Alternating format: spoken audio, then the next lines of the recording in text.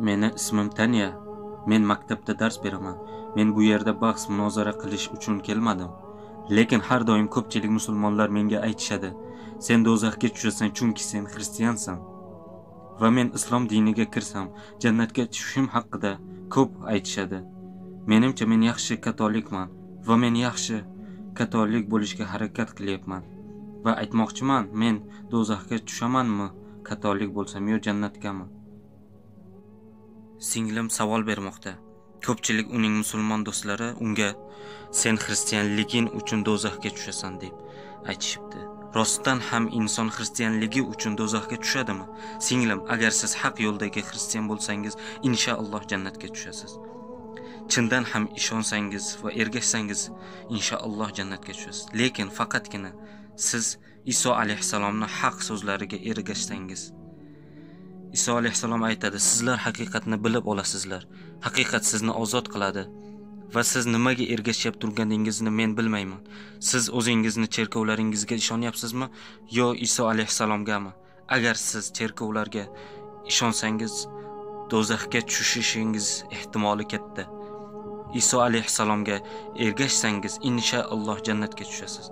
Agar siz Bibliya kitobini o'qigan bo'lsangiz, aytgan so'zlari Iso alayhissalomni hamma so'zlari qizil harfda chop etilgan.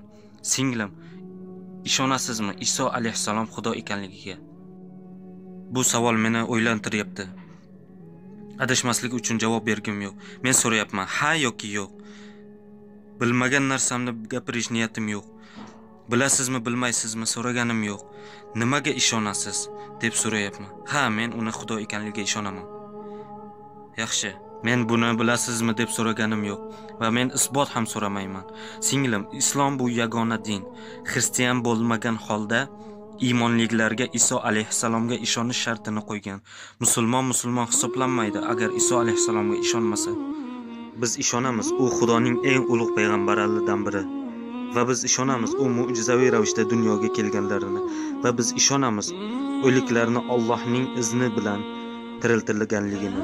Xristianlar biriga ketishmoqda musulmonlar bilan. Lekin kimdir so'rashi mumkin, farqi nimada deb.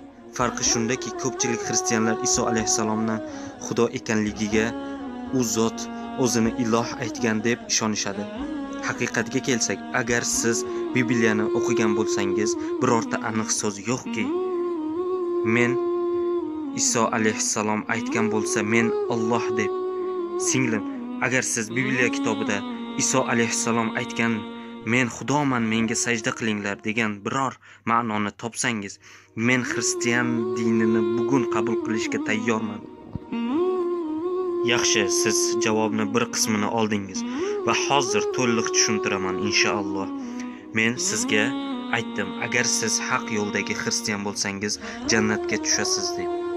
Lekin siz haq yo'ldagi xristian nimaligini bilmaysiz. Men sizga haq xristianni ma'lumotini beraman. Agar bibliyaga nazar solsak iso alayhissalom aytadi bibliya yuhan bayonida 14 bob 28-da otam mendan ulug'dir. Bibliya yuhan bayonida 14 bob 29-da otam hammadan buyukdir.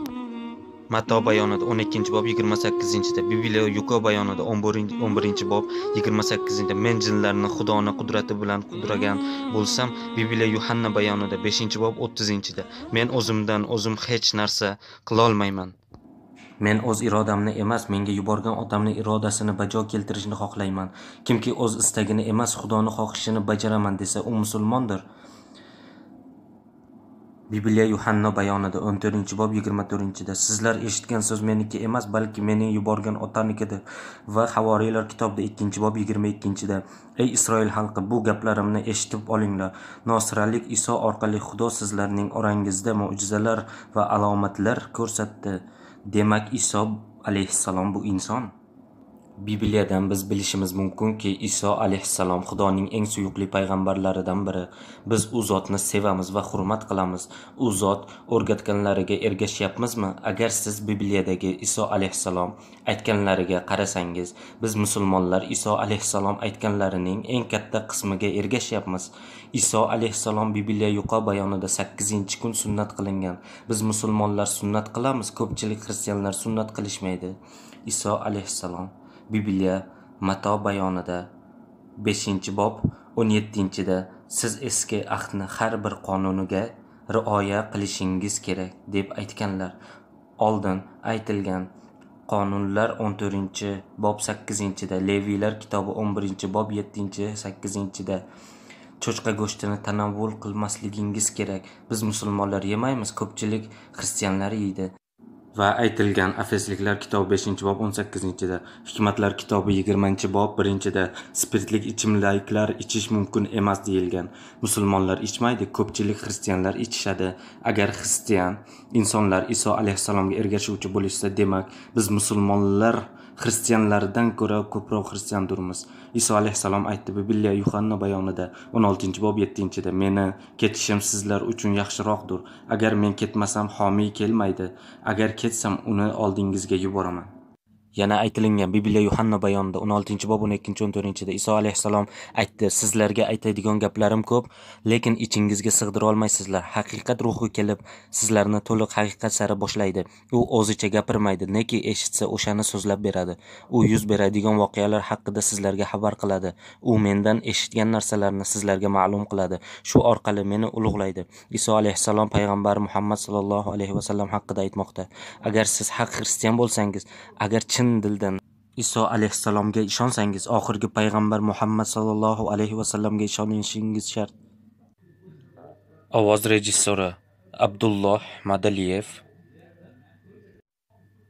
va rahmatulloh rasulov.